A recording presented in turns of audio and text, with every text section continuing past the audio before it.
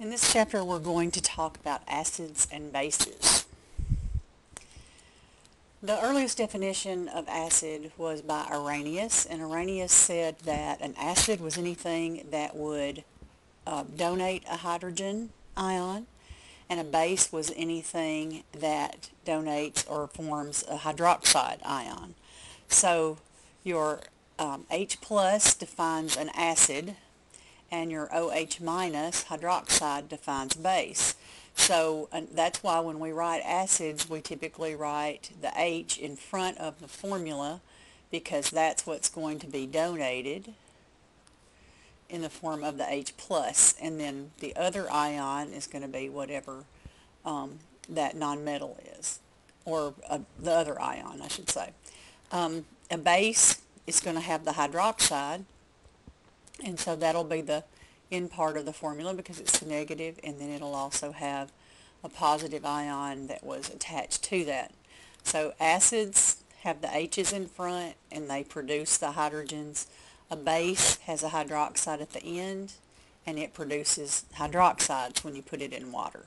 And these are all in water, okay?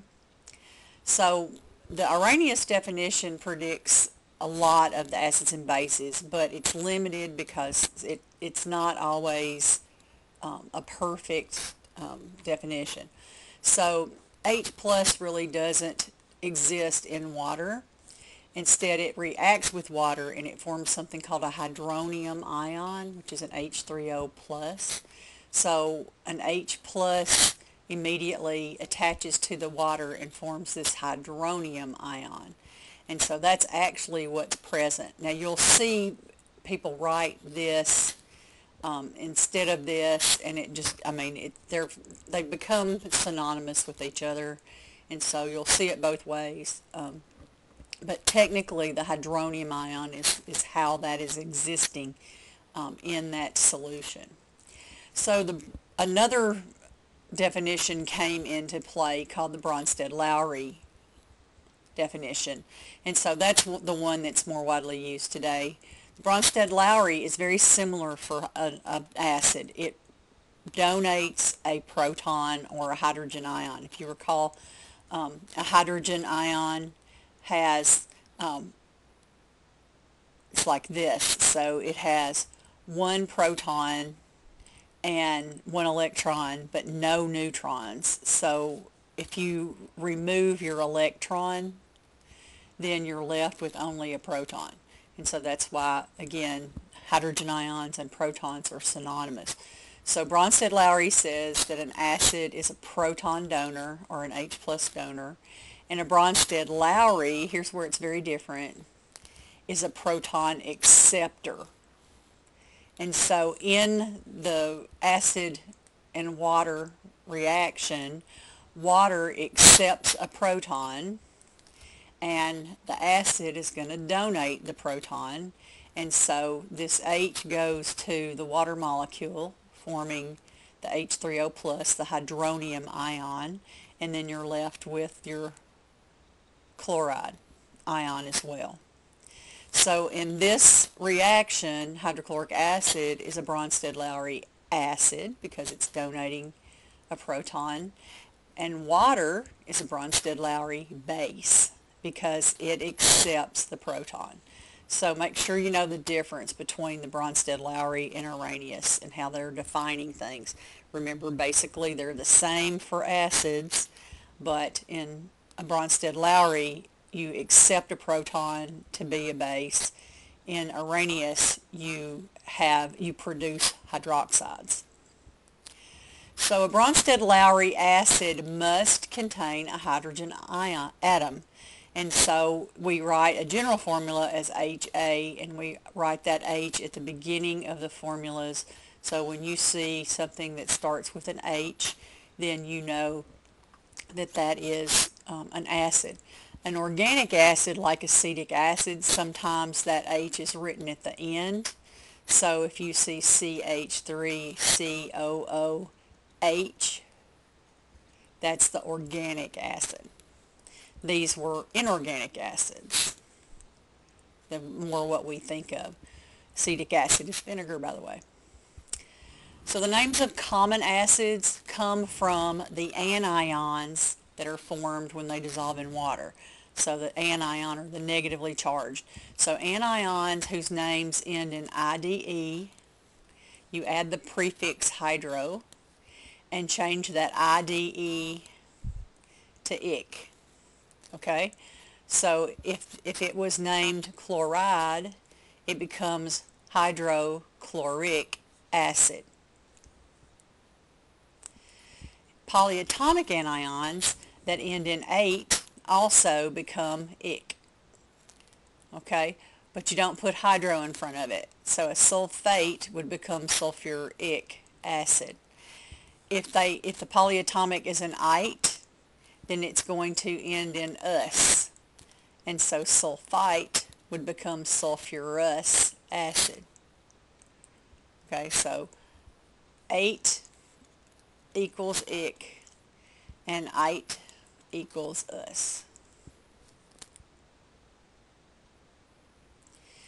Now, we also can classify Bronsted-Lowry acids by how many hydrogens or how many protons they can produce.